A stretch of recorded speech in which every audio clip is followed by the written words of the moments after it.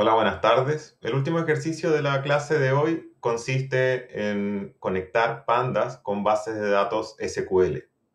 ¿Ya? Entonces, esto lo hacemos con la función readSQLQuery, ¿ya? que recibe una consulta, un string, que corresponde a una consulta en lenguaje SQL, y un elemento de conexión, ¿ya? que puede ser una dirección o un objeto que vamos a ver un poquito más adelante. Entonces, ¿cuál es la ventaja de esta, de esta función? Esta función read SQL query nos devuelve un data frame. Entonces, si ya estamos cómodos y sabemos usar bien pandas, podemos hacer una consulta, recuperar eh, un trozo de una base de datos SQL existente y, recuperarla en formato de data frame para poder hacerle operaciones.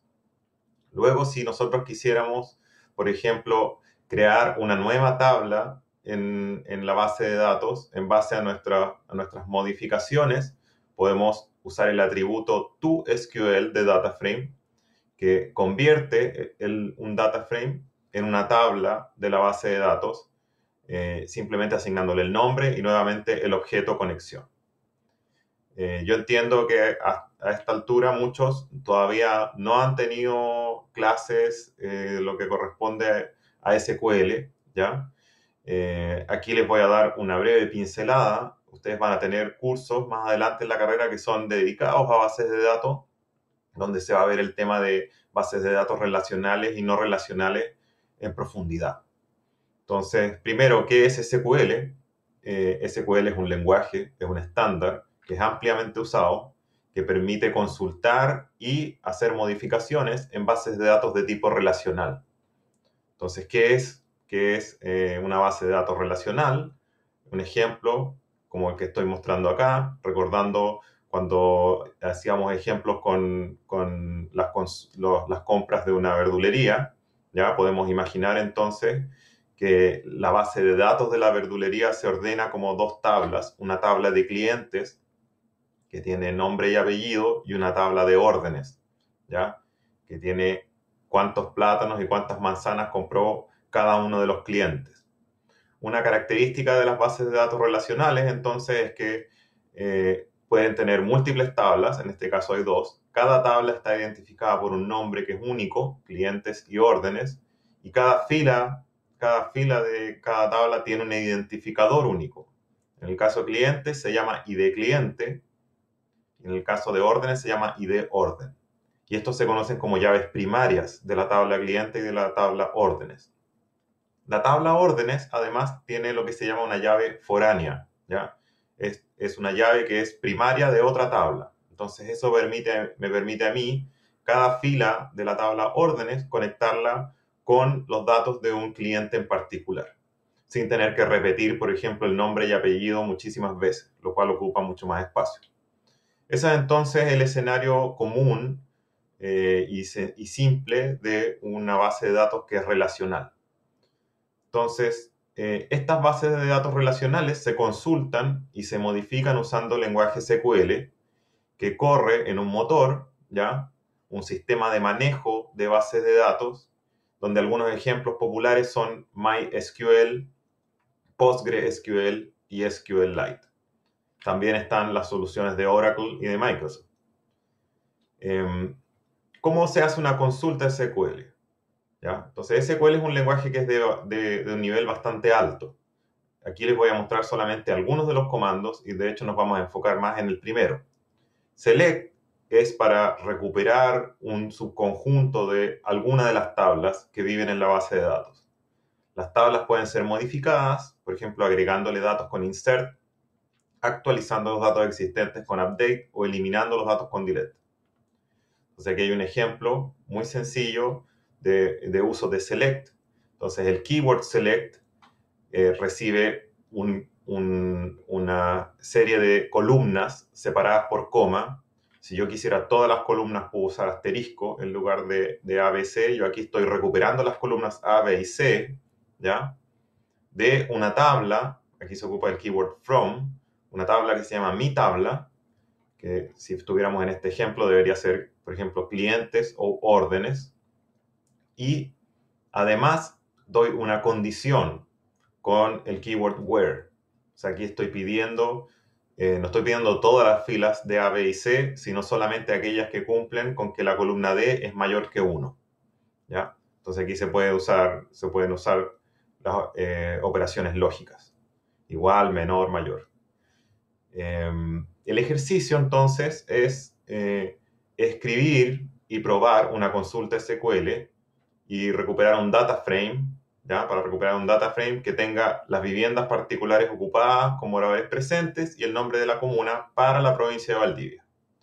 Y se da también una indicación eh, que esto, cuando uno escribe una consulta, eh, en este caso tenemos algunos nombres, tenemos nombres de columnas que tienen espacio, ¿ya? Entre medio. Esto no es usual en SQL, y cuando hay espacios entre medio tenemos que escapar esos nombres, esos nombres de columna usando paréntesis cuadrados.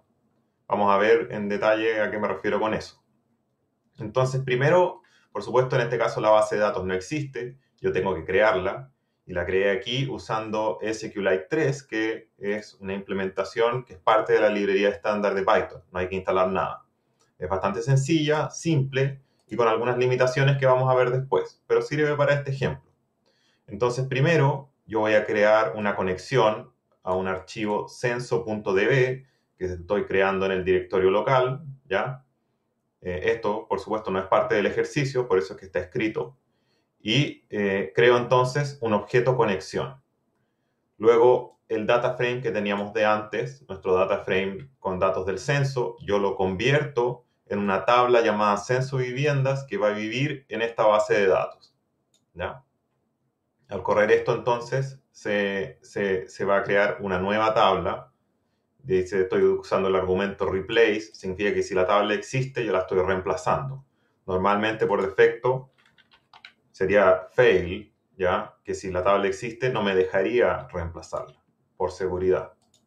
Y aquí inmediatamente Pandas me está dando una advertencia, un warning, que dice que, que hay espacios en las columnas, ¿ya? Y que previamente antes los espacios se convertían en guion bajo, pero ahora no. Por eso es que vamos a tener que escaparlos con los paréntesis cuadrados. Entonces, escribamos la solución. Entonces, lo primero que tenemos que hacer es escribir nuestro, eh, nuestro query. Creamos la base de datos. Escribimos nuestro query, que puede escribirse como un string. Select Vamos a usar entonces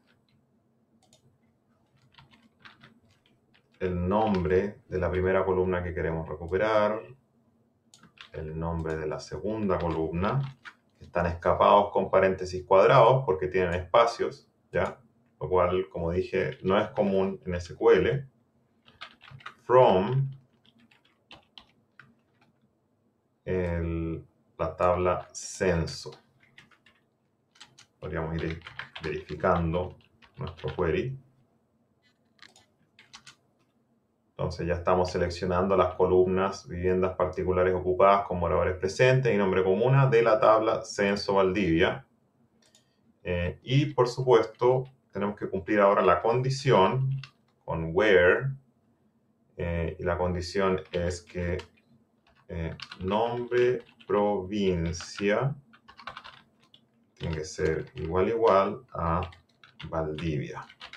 Entonces con eso tenemos, tenemos todas las comunas de la provincia de Valdivia. Y así se está viendo el, nuestro, nuestro query. Ahora, este query escrito así eh, duramente como un string gigante eh, es poco útil porque si quisiéramos, por ejemplo, después cambiar las columnas que nosotros queremos consultar, tendríamos que escribirlo todo de nuevo. Eh, mucho más útil, por ejemplo, sería hacer un string formateado. Por ejemplo, eh, usar un f-string. Aquí les voy a mostrar entonces cómo usar un f-string de Python.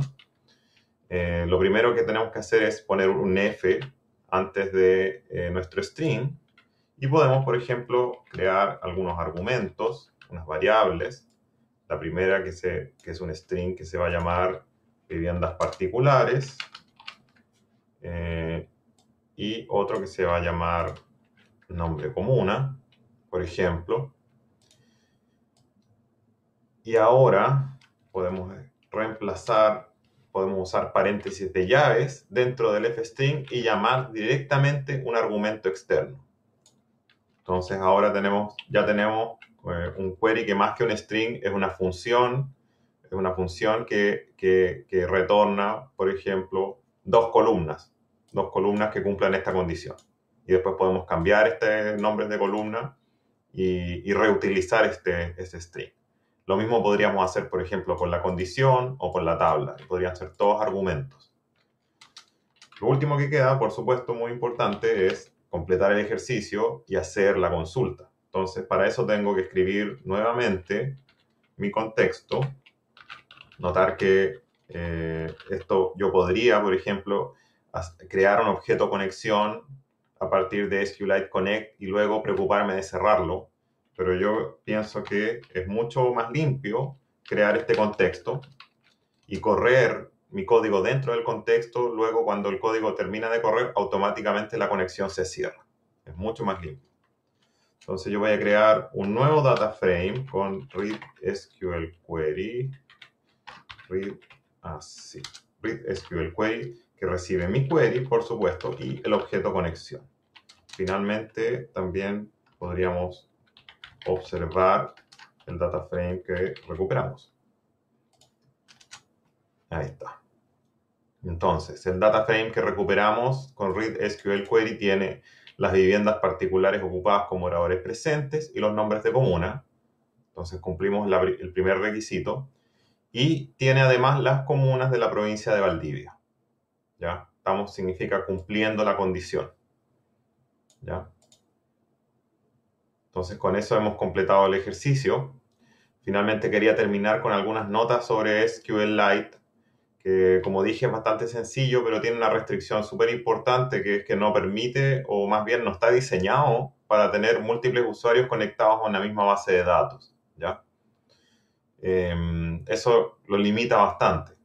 Entonces está bien para estos experimentos que estamos haciendo, pero para una base de datos eh, más importante, por ejemplo, eh, que sea de un servicio que muchos usuarios tengan que consultar, no sirve. Pero hay muchos otros motores y muchos otros motores que además son libres y que tienen además conectividad con pandas o con Python en general mediante librerías, en particular SQL Alchemy está ampliamente soportado por pandas, también está Postgre y Piwi, dos, dos interfaces a SQL eh, con librerías de Python que son bastante poderosas y fáciles de ocupar. Eso, nos vemos en una próxima lección.